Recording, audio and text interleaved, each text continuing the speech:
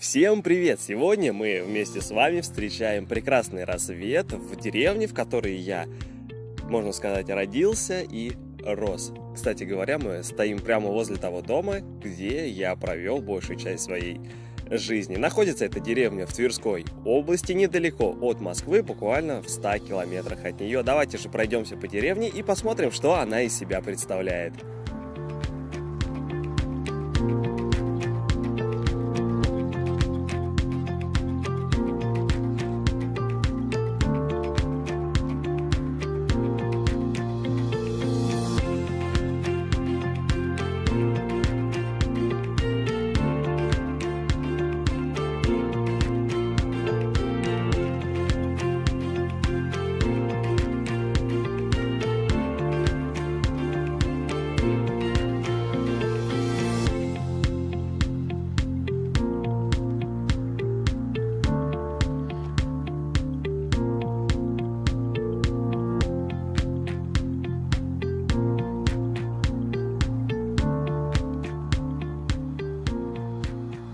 Сама по себе деревня – это одна большая улица, по сторонам которой расположены дома, в которых живут местные жители, а также сейчас уже это в большей степени дачники, которые построили себе здесь дома, которые приезжают сюда на лето, чтобы вырастить что-то на огороде или в парниках, или же просто отдохнуть от городской суеты в тишине деревни.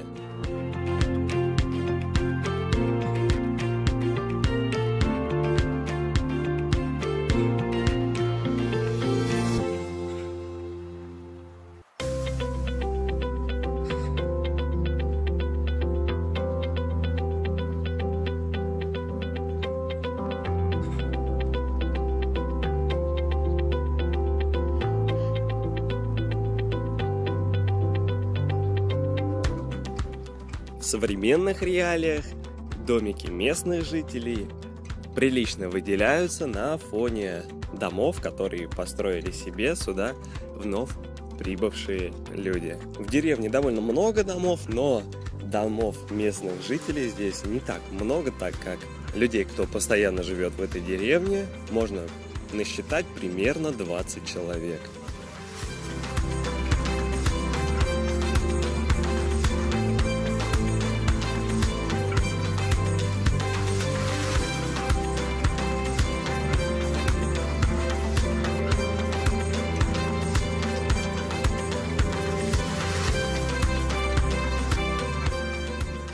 В деревне есть асфальтированная дорога и также есть неасфальтированная дорога, которая тянется в обе стороны этой деревни. Сама по себе деревня длиной примерно в 2 километра. Идет одна сплошная улица, по сторонам которой, как я уже говорил, стоят дома.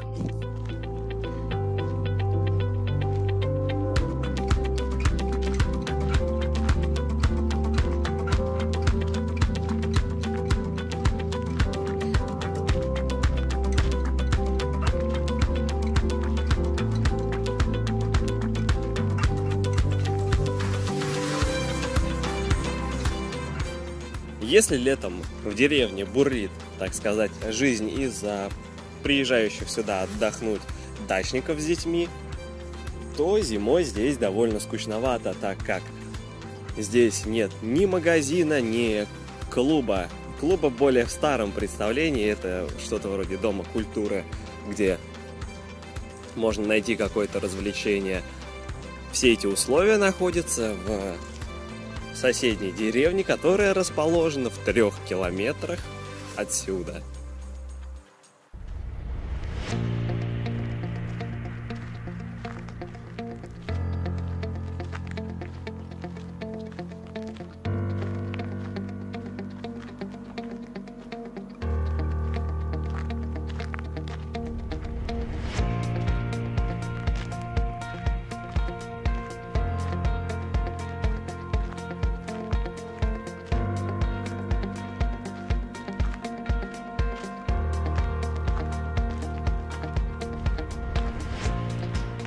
Помимо жилых и довольно аккуратных домов, в деревне также присутствуют и уже нежилые дома с пустыми окнами. В этих домах никто не живет, и в них уже нет ничего ценного или полезного. Такие дома даже со стороны можно увидеть, что они уже давно заброшены и что в них уже никто давно не живет.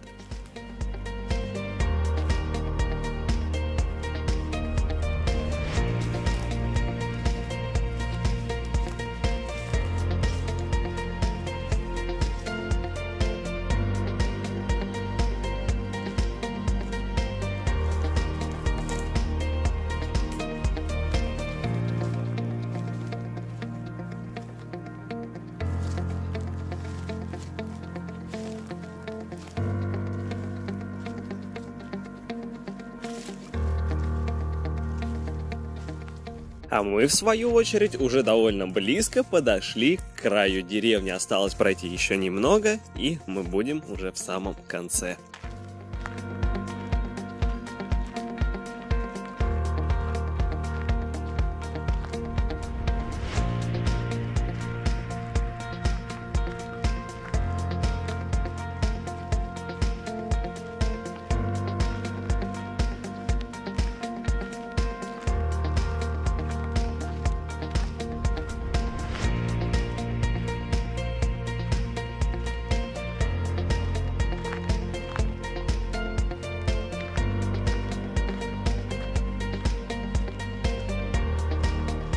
И сейчас мы уже идем ближе к краю деревни.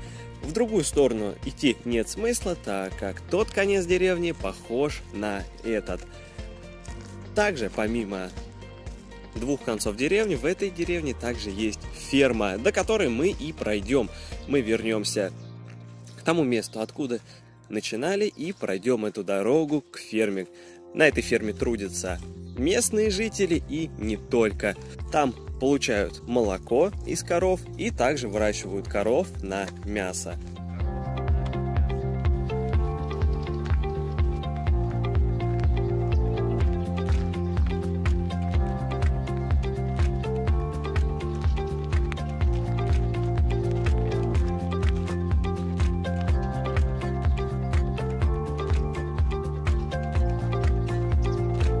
Многие люди, приезжая из города, часто отмечают, что в деревне все же воздух на порядок чище, чем можно наблюдать в городе. Здесь легче дышится и в целом обстановка спокойнее и более благоприятная для того, чтобы отдохнуть и насладиться природой и в целом жизнью.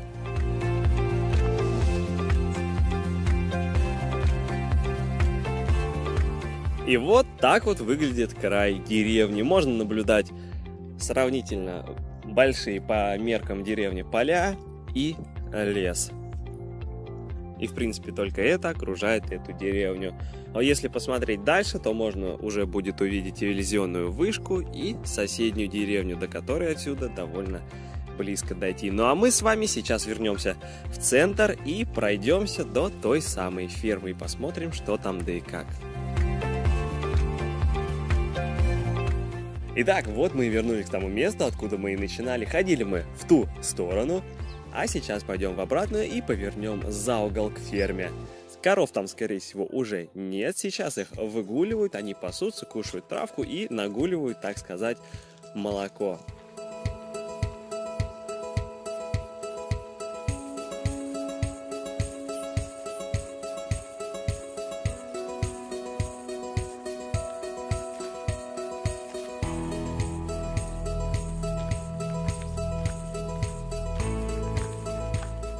Пока мы идем до фермы, а идти нам до фермы метров 400-500, у нас открываются такие виды.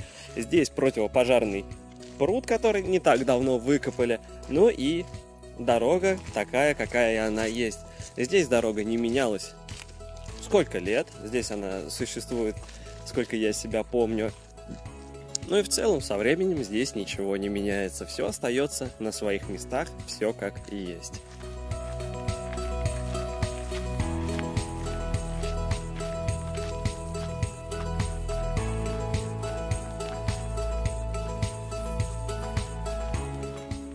Вот уже на горизонте появилась ферма, так как она выглядит со стороны. Нам осталось дойти до нее метров 100-150, и мы уже сможем взглянуть на нее поближе.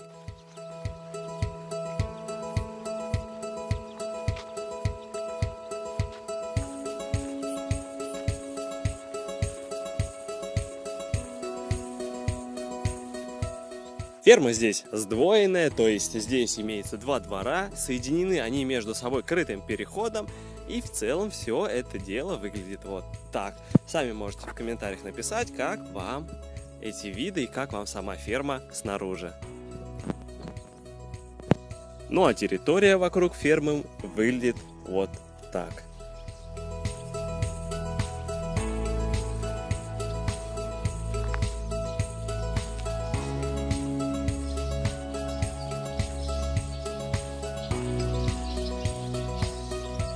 Как я и говорил ранее, коров сейчас на ферме нет, они сейчас на выгуле, и поэтому ферма, так сказать, пустует. А справа от нас находится комната, которую называют моечной.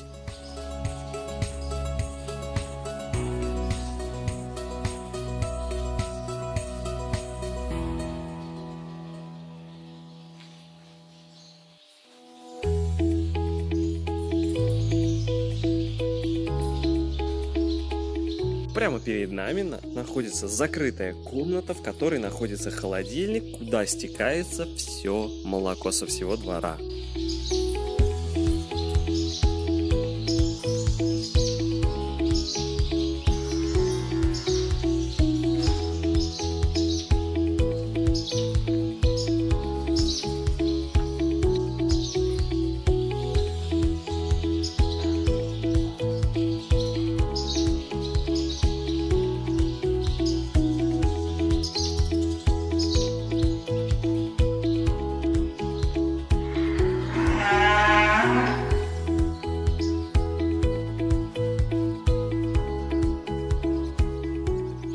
Такая она вот российская деревня. Напишите в комментариях, хотели бы вы здесь провести свое детство или же нет. Также не забывайте делиться своим мнением об этой деревне. В комментариях мне будет интересно почитать, я отвечу всем. Ну а на этом я буду заканчивать. Не забывайте ставить лайки, подписываться на наш канал. Ну а на этом я с вами прощаюсь. До новых встреч!